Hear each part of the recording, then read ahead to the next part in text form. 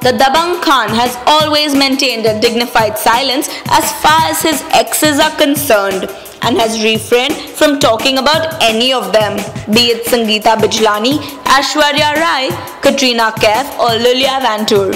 But years after his bitter breakup with the now Bachchan Bahu, Salman has finally spoken about his pretty ex.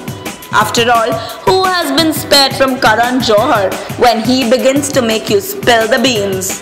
When Salman was quizzed on Koffee with Karan 4 about who is the most stunning among Katrina, Aishwarya and Kareena, Pat Kim Sallu's reply, Aishwarya definitely is the most stunning woman I have ever dated. Well, what can we say? Honesty is the best policy. Comment below if you agree with this Bigg Boss host.